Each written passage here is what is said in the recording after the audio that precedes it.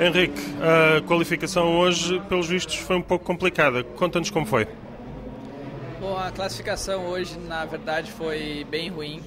É, o principal motivo foi ontem a gente estava andando com um pneu bem velho e pneu da, da, da so, os pneus que sobraram de manicures e realmente não tinha nenhum pneu com, com pouca quilometragem ou em bom estado. Então é, a gente andou três sessões ontem lutando contra o carro que escapava de traseira e estava andando quase 3, 3 segundos mais lento do que, do que, do que o ritmo que era para andar.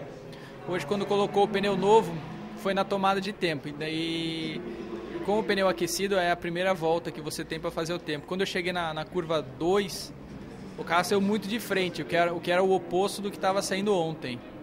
Então eu mudei a. Eu estava com a barra quase toda dura da frente, eu mudei ela para toda mole para tentar ajudar a frente do carro, mas não ajudou muita coisa. Então realmente foi um erro que ontem que aconteceu. É, eu acho que, que se eu tivesse usado o pneu novo, eu teria feito um tempo decente ontem e estaria bem mais perto, ter, ter, ia ter uma referência de como ia estar o carro hoje. Vindo do, de 3 segundos mais lento não dava para. Eu melhorei quase 2 segundos, mas não, não é, foi suficiente, tinha que melhorar uns 2 segundos e meio. Eu acho que seria possível se eu tivesse usado o pneu novo ontem. Foi um erro é, que.